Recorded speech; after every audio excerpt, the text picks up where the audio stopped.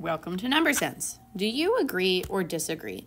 Kaylee was asked to pair to graph the ordered pair 5 comma 3 and label that point A. Here is her work. Think. Do you agree with Kaylee? Explain your thinking using the words x-axis, y-axis, and coordinates. Give a silent thumbs up when you're ready to share with your group.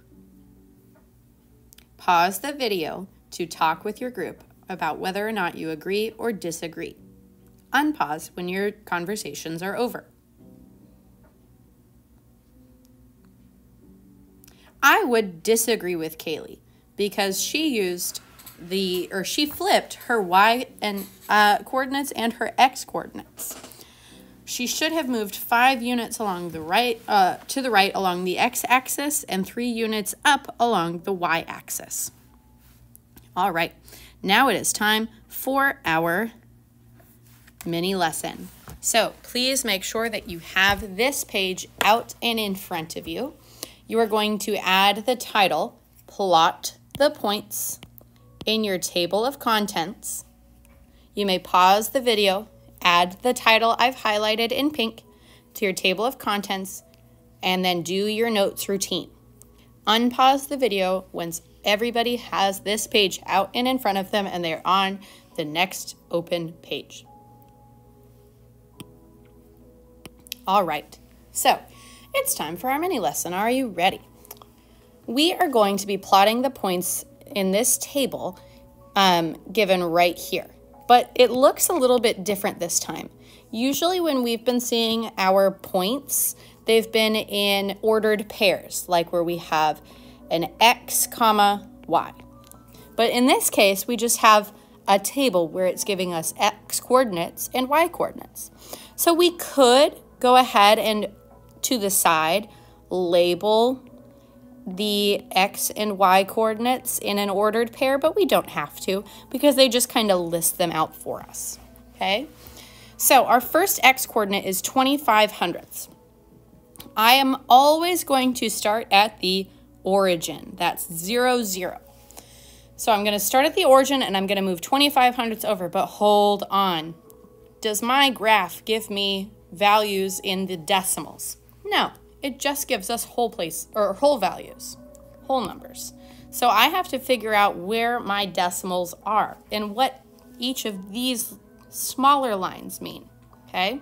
So I notice that this is broken up into four pieces, and I know 25 hundredths times four is one whole. So I'm gonna say that each of these is worth 25 hundredths. That's 25 hundredths, this is 50 hundredths, and this is 75 hundredths. And I think that works for everything. So now I can finally start plotting now that I know what the lines are worth, okay? So my x coordinate is 25 hundredths, so I'm going to start at the origin right here. I'm going to move over 25 hundredths along the x-axis. My y-coordinate is 75 hundredths. So I moved over 25 hundredths. I'm going to move up 75 hundredths. And I'm going to plot that point and label it A. Notice how I didn't draw any actual lines on my paper. I just plotted where that point should be with no lines. All I did was trace where I was traveling. Okay, let's do point B. Point B is at x coordinate of 1 and 5 tenths. So I am going to start at my origin and I'm going to go over 1 and 5 tenths. Ooh, and my y coordinate's going to be 2. So I'm going to travel all the way up to about 2. My point should be right about there. Okay, and that is going to be point B. Oh, this is so far so good. All right, so now we've got point C, where we're going to travel over to the right from the origin, 75 hundredths, and then we're going to go up along the y-axis 2 and 25 hundredths. So there's about 1, there's about 2, 2 and 25 hundredths would be about there. So I'm going to plot my point right there. And just to make sure, I'm just going to, yep, that works.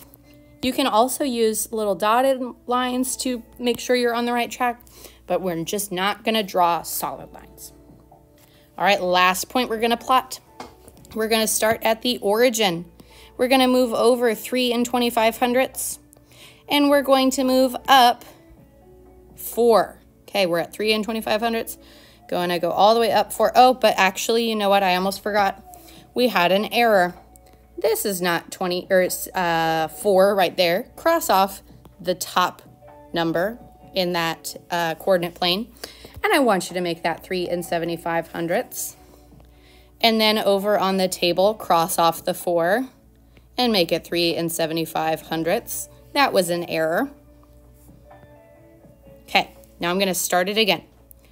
I begin at my origin. I go over 3 and 25 hundredths to about here. And I'm going to move up to 3 and 75 hundredths on my y-axis. So that's going up to about there. Oh, I just lost it. Right about there. And label it D.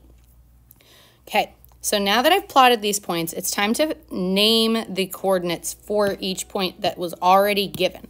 So the first point we need to find is E. Okay, so I'm going to find E. I see it right here. Okay, first I need to find my X coordinate. What I always do is I just drag down from my point to see where I land on my number line. And I see that I am at 0 and 5 tenths on my x-axis. I'm going to do the same thing for my y-axis. And I see that I'm at about 3 and 5 tenths for that one. I'm going to write 3 and 5 tenths. There we go. Now we're on to F. going to do that same process. I put my, my pencil on my point that I'm using. I am at F. I drag my pencil down to see where I am on the x-axis. That's 3 and 25 hundredths. I'm going to label it 3 and 25 hundredths. And then I'm going to do the same thing for the y-axis. I'm going to drag my pencil over. I think that's about 1 and 75 hundredths. So I'm going to go over in my table and label it 1 and 75 hundredths. Okay, next up I've got G. I'm going to put my pen or pencil on G, drag down. That's 1 and 5 tenths. Going to go over to my table and jot that down. Then I've got my Y coordinate for G, which is straight just 5 tenths. 0 and 5 tenths. Perfect. Okay. And lastly, we have H. Gonna find H on my table or on my coordinate grid drag it all the way down. That's 1 and 75 hundredths for my x uh, coordinate. 1 and 75 hundredths. Drew that weird. Then I've got, for my y coordinate, just a straight up 3. Okay. Get this copied down. Then with your group, you are going to have about five minutes to complete the remainder of your worksheet together. After the five minutes are over, you are going to fold this up and glue it in like we always do and begin working on Volumeville. Or sorry, not Volumeville. You're going to start working on watching the BrainPop video posted in Google Classroom. It is going to be at the very top of the uh, classwork. After you watch the BrainPop, then you're going to work on your Volumeville. Capiche? Caposh. Make sure that you are showing integrity and that you are on your very, very, very best behavior for our substitute. Have a great day.